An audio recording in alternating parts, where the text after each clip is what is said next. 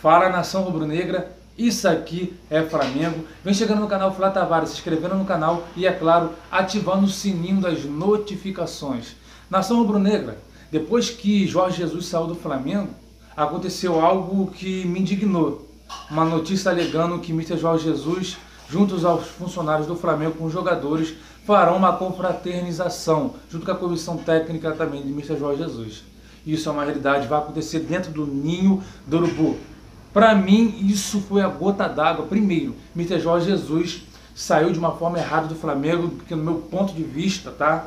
Ele saiu pelas portas do fundo, porque ele deixou a diretoria do Flamengo a mercê. Agora estamos procurando o técnico. Um fala que vai vir, depois recusa, a gente não sabe. Então não vou nem falar quem vai vir, porque é um negócio que não tem como é, é cravar. Uma coisa a gente sabe que o Maurício Souza vai assumir o time, né? Esse, o Maurício Souza que assumiu o Flamengo alguns jogos do Carioca. Então, galera, o que que acontece? Mr. Jorge Jesus, pô, fazer uma confraternização junto com a sua comissão técnica dentro do Ninho do Urubu, para mim é falta de respeito. Porque ele saiu, né, falando que não ia sair, né, porque ele falou assim, ó, terça-feira vamos estar aí se reapresentando. Chegou na hora, Flamengo se lascou, a diretoria. Foi, ele foi vacilão, vacilou feio com a nação rubro-negra. Galera, não tem problema ele se juntar com os jogadores, nem com a comissão técnica dele, com os funcionários, desde que seja em outro lugar, não na, no Ninho do Urubu, porque isso é uma falta de respeito. Ele deixou a gente à mercê aí e vai ficar assim como se não, não, não aconteceu nada. Para mim isso é uma falta de respeito. Outra coisa, ontem à noite o Marcos Braz jantou com o Mr. Jorge Jesus e estavam ali aguardando o presidente do Benfica chegar ali, né, pagar multa, né? É, as últimas coisas que faltam, a multa rescisória do Mr. Jorge Jesus, tá? E ele não apareceu.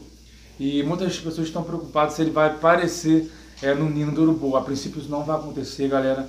É, o presidente do Benfica aparecer uma confraternização dentro do Flamengo, ele que tirou o Mr. Jorge Jesus, Tá de brincadeira, aí seria um absurdo. Que diretoria é essa do Flamengo dar uma bobeira dessa? Entendeu? Mas eu acho que isso não vai acontecer, entendeu? E esses camaradas lá de Portugal, a, a mídia, tá anunciando que eles querem levar Ilharão, querem levar Téléo Pereira, Gerson, Bruno Henrique. Eles, eles irão tentar levar alguns jogadores. Estão alegando que o presidente está vindo com um dinheiro legal para tentar tirar um desses jogadores. Só que o Marcos Braz disse para não falar outra coisa, né? Ele vai dificultar, né, as negociações. Esperamos isso. Vai facilitar para esse camarada não. Na hora de é, conversar por trás, sem contatar o Flamengo, conversar com o Mr. Jorge Jesus no secreto, ele, contat, é, ele, ele conversou e conseguiu. Agora, para tirar jogador, ele quer, quer vir aqui falar como se não aconteceu nada. Pode dar bobeira para esse cara, não. Não tem nem direito de pisar dentro do, do ninho do urubu. Pô, vou ficar indignado. O cara que foi mau caráter com o Flamengo, ainda pisar lá na confraternização, que eu acho já errado ter com o Mr. Jorge Jesus dentro do, do ninho do urubu. Então, nação rubro-negra, o que acontece? Olha que se a, a Raíssa Simplício postou no seu Twitter sobre essa questão do, do, de caso levar Gerson ou Bruno Henrique. Olha que ela colocou. Raíssa, Raíssa Simplício. Se quiser tirar o Gerson e Bruno Henrique, do Flamengo, o Benfica terá que coçar o bolso.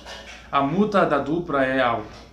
A do meia é de 70 milhões de euros e do atacante é de 35 milhões de euros, o que deixa o Flamengo mais protegido. Então, ela disse que esses valores aí e a outra frase dela ela alegou, deixa mais protegido. Será, galera? Aí o que, que aconteceu ontem? O empresário do Bruno Henrique, como vocês estão vendo aí, disse que o Bruno Henrique ele, ele não é inegociável e encharcou de elogios ao Benfica. Galera, é o que eu falo.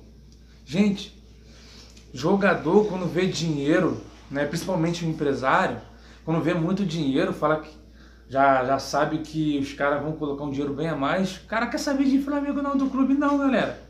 Vem com dinheiro a mais, aí o cara sai do Flamengo. Entendeu? Ninguém ama Flamengo não, cara.